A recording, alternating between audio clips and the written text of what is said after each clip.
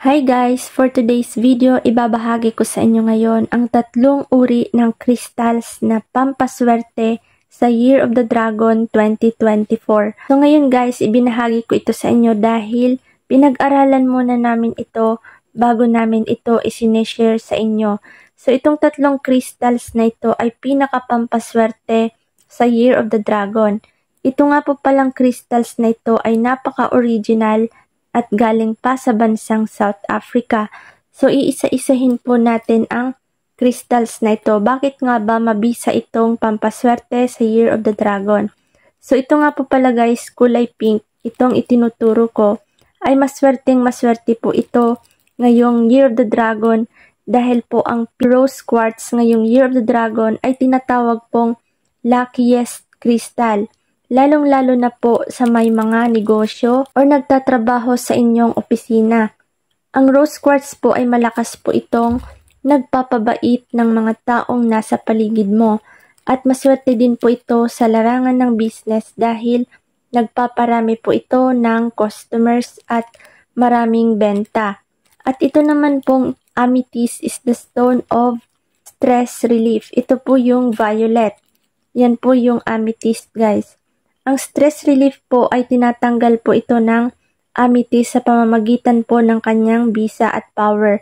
Napakaganda po nito sa Year of the Dragon dahil marami pong mga challenges ang kakaharapin dahil ayon sa mga feng shui may iilang mga tao ngayon nakakaharapin ang ilang mga challenges kung kaya't napakainam ng amethyst na nagtatanggal ito ng stress at mga depression na paparating ngayong 2024.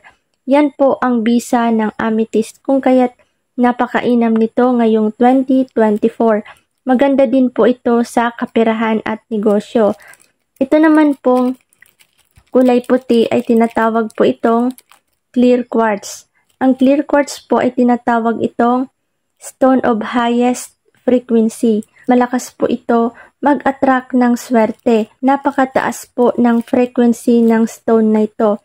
Malakas din po itong magtanggal ng depression sa ating isipan, lalong-lalo na sa ating pangangatawan.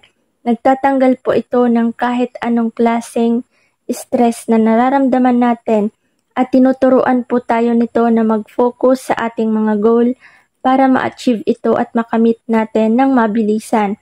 So maswerte din po ang clear quartz sa business at money ngayong 2024 Year of the Dragon.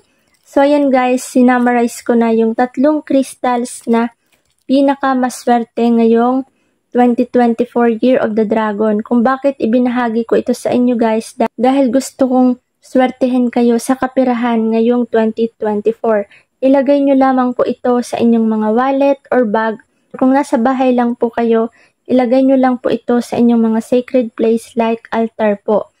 Kapag na-receive nyo na po ang item na ito, agad pong hugasan ng water sa loob ng 1 minute para po matanggal yung negative energy na nanggagaling sa mahabang biyahe. Ito nga po pala guys, ang kristal namin ay galing pa sa bansang South Africa. Napaka-original po nito.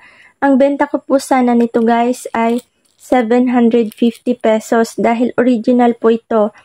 Subalit guys, ang benta ko na lamang nito ay 500 pesos para po mabilis nyo pong ma-avail ang produktong ito.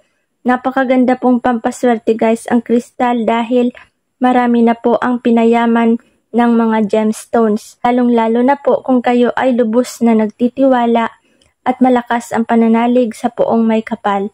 So, lalagay ko po ang link nito dito sa comment section. Meron po kami nito sa Shopee at Lazada. Discounted na po kayo dito guys ng 250 pesos. So sana guys ay magkaroon na kayo nito bago pa man dumating ang Year of the Dragon 2024 para swertehin na kayo sa kaperahan. Yan lamang guys. Maraming salamat at God bless po.